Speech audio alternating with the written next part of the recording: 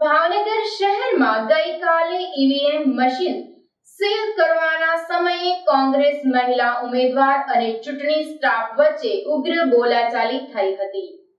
ભાવનગર શહેરમાં ગઈકાલે સવારથી સાંજ સુધીમાં શાંતિપૂર્ણ માહોલમાં મતદાન થયા પછી સાંજે અંતિમ સમયે સનાતન સ્કૂલના મતદાન મથક પર ચૂંટણી સ્ટાફ જ્યારે ઈવીએમ મશીનને સીલ કરતા હતા ત્યારે કોંગ્રેસના મહિલા ઉમેદવાર અને ચૂંટણી સ્ટાફ વચ્ચે ઉગ્ર બોલાચાલી થતા મામલો ગરમાયો હતો.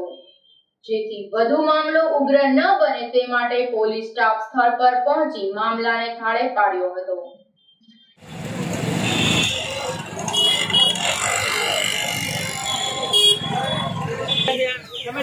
ઉમેદવારને પ્રકાશ પાંચ આગે મેં બધા નીકળી પડે એને બહાર આ બાજુ આપણે હું લેવા અંદર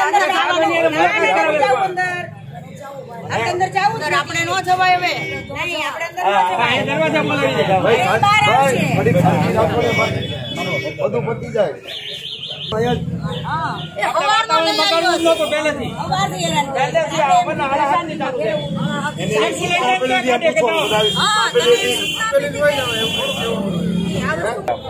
હવારથી મતલબ. કરે. ખાલી સન્માન ચાલુ છે સવારથી હેરાન કરતા હતા બધા થેન્ક યુ એટલું જ કેવું છે. સવારથી મતદારોને બહુ હેરાન કર્યા છે. હાર એક સરસ રીતેલી હોય તો બહાર કાઢતા હતા મતદારોને. રીતેલી હોય તો ઈ કે.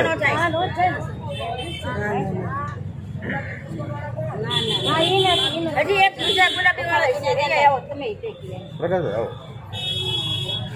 પ્રકાશભાઈ આવો છે તમારે જે કઈ અસંતોષ છે જે કઈ રજૂઆત છે લેખિત આપો. લાગુ પડે. તમારે જે કઈ રજૂઆત છે જે કઈ તમારે જે લીગલથી તમે જે કઈ આપો અમે લઈ લઈએ.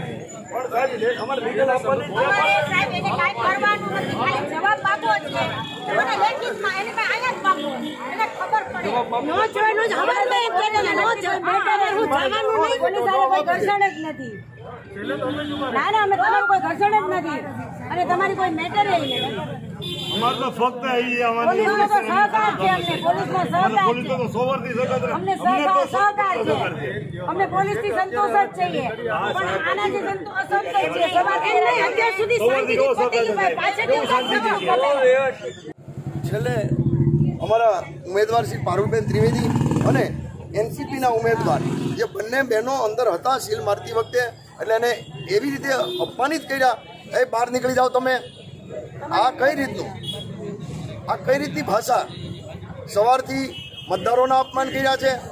એટલા માટે અમે અત્યારનું સન્માન કરવા ઊભા છીએ. તમે સારી ભૂમિકા ભજવી છે અને અમે એવું માનીએ છીએ, આવતીકાલે તમે ભારતીય જનતા પાર્ટી જોઈન્ટ કરી લો કા એના ઈશારે તમે કામ કર્યું છે એનો વિરોધ કરીએ છીએ અને એનું સ્વાગત કરવા માંગીએ છીએ. અમે પૂછ્યું કે સાહેબ, સીલ મારે તો અમારે જોવાનું હોય.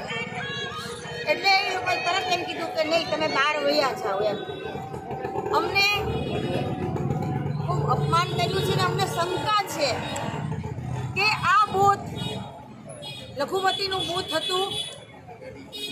હાર ભાળી ગયેલા લોકોએ કદાચ એના કાર્યકર્તા હોઈ શકે અંદર, એમની વિચારધારા હોઈ શકે. એમના કાર્યકર્તાની જવાબદારી નિભાવી છે ભાઈ સાહેબે. હું તો સાહેબ નહીં કહું પણ એક કાર્યકર્તા તરીકેની જે ભૂમિકા ભજવી છે, ખૂબ દુઃખની બાબત છે. આજે સવારથી માનસિક ટોર્ચરિંગ કરવું બૂથ ઉપર ઊભા હોય એટલે અહીંથી નીકળી જવાની આડકતરી રીતે અમને એન કેન પ્રકારે ત્રાસ આપવો. છતાં પણ અમો ગમ ખાઈ ગયા છીએ, કારણ કે અમે તો સહકાર આપવાવાળા છીએ. અમે કોઈ વિઘ્ન કરવાવાળા લોકો નથી.